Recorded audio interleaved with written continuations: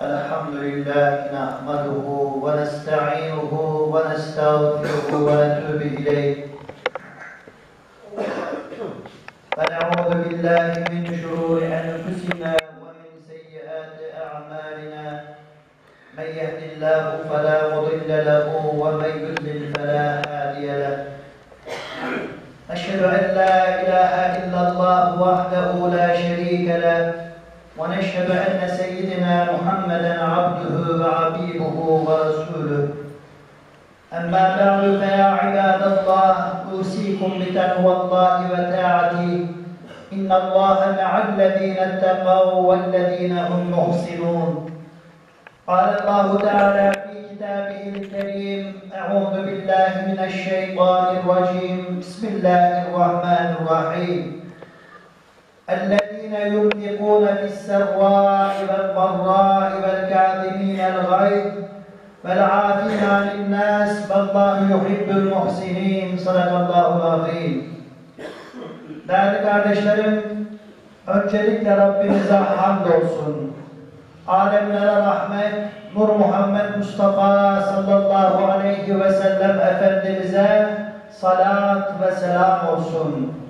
Allah'ın selamı, rahmeti, bereketi üzerinize olsun. Cumanız mübarek olsun. Yüce Rabbimiz Kerim kitabımızda onlar bollukta ve darlıkta Allah yolunda infak edenlerdir. Öfkelerine hakim olanlardır.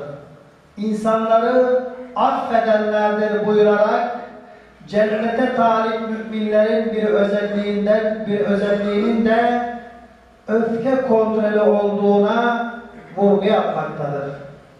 Sevgili Peygamberimiz sallallahu aleyhi ve sellem bir gün ashabıyla sohbet ederlerken onlara pehlivan kimdir bilir misiniz diye sordu.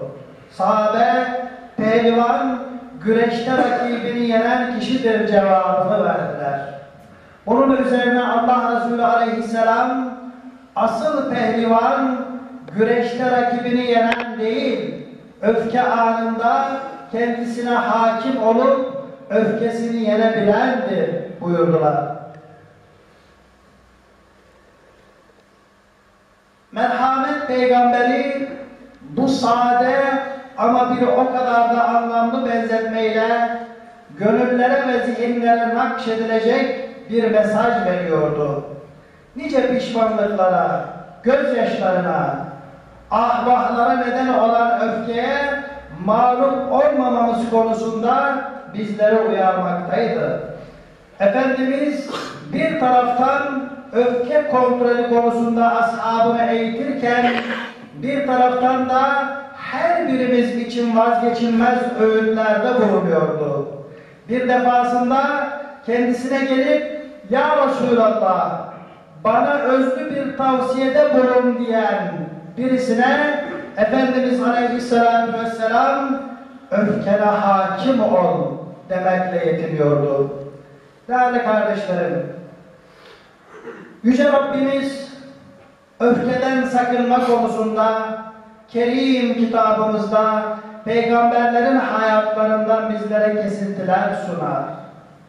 Bu peygamberlerden biri Musa aleyhisselamdır. Onun yokluğunda kardeşi Harun kavminin hidayetten uzaklaşmasına engel olamamıştı.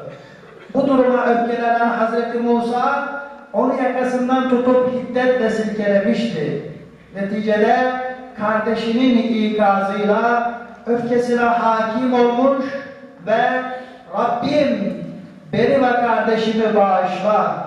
Bize rahmetinle muamele eyle. Sen merhameti engin ve sonsuz olansın yakarışıyla Rabbine sığınmıştı. Yunus aleyhisselam kavmini bir olan Allah'a teslimiyet ve kulluğa davet etmişti. Ancak onlar bu daveti karşılıksız bırakmışlardı. Bunun üzerine Yunus peygamber bir hışımla kavmini terk edip gitmişti. Ama öfkesi onun için bir imtihana dönüşmüştü. Bir balığın karnında karanlıklar içerisinde kalmış, sabrın ve itidalın anlamını bir kez daha kavramıştı. Nedamet Rabbine şöyle iltica etmişti. Senden başka ilah yoktur. Seni her türlü eksiklikten tenzih ederim. Ben gerçekten kendine yazık edenlerden oldum. Kıymetli kardeşlerim, insanlığın yolunu aydınlatan peygamberlere dair bu örneklerde bizi eğitir alemlerin Rabbi.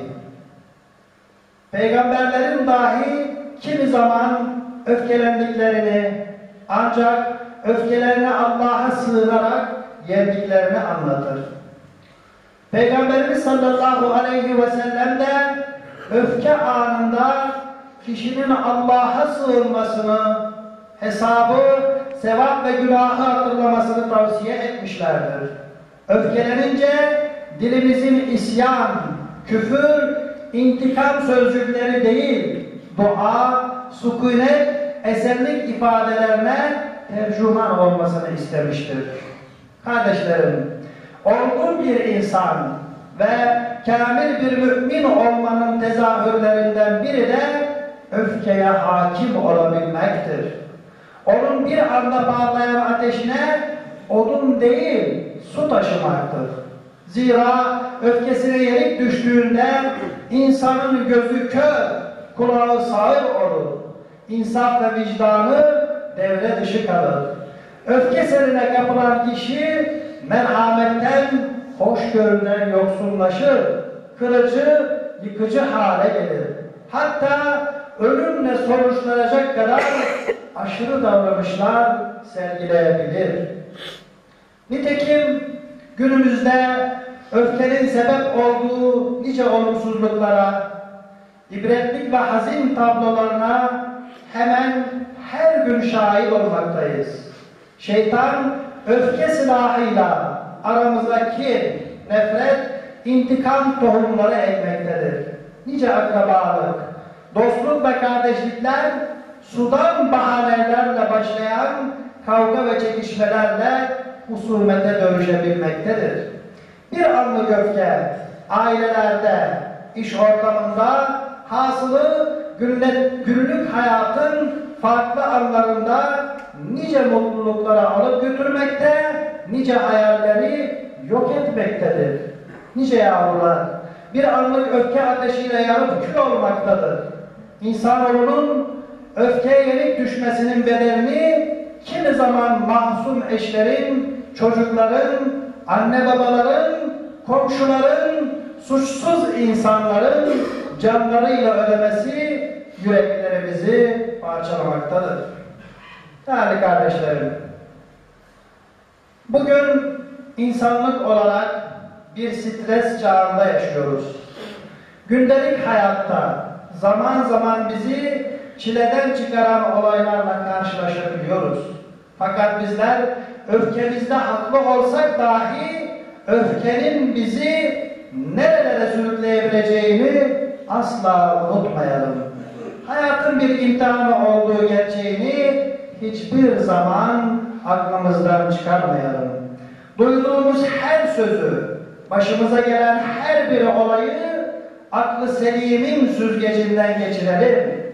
Geliniz müminler olarak daima şefkat, merhamet, hoşgörü ve sabrı kuşatalım. Öfkenin esaretiyle kim, nefret, husumet gibi duygularla yüreklerimizi karartmayalım. Mevlana'nın hilim kılıcı, öfke kılıcından keskindir sözünü kendimize şiar edinelim. Yüce Rabbimiz bizleri öfkesine mağlup olanlardan değil, sabrı kuşatan, öfkesini yenebilen, haklıyken dahi affedebilen muttaki kullarından eylesin. Değerli kardeşlerim, Rabbimize sonsuz hamd senalar olsun ki bir kez daha rahmet, bereket ve bağışlanma mevsimi olan üç ayların eşiğine ulaştık. Önümüzdeki Perşembe Cuma bayrağı gece Regaib kandilini idrak edecek ve üç ayların ilk ayı olan Recep ayına girmiş olacağız. Regaib kandilinizi şimdiden tebrik ediyorum. Yüce Rabbimiz üç ayları en güzel şekilde değerlendirebilmeyi, rızasını kazanmış olarak hep birlikte Ramazan bayramına erişebilmeyi bizlere nasip etsin inşallah. Değerli kardeşlerim, camimizin doğal gaz ve elektrik faturaları için namazdan sonra yardım talep ediliyor. Rabbim yapacağımız yardımları kabul etsin inşallah. التائب من الذنب كمن لا ذنب له استغفر الله العظيم واتوب اليه واسال الله لي ولكم التوفيق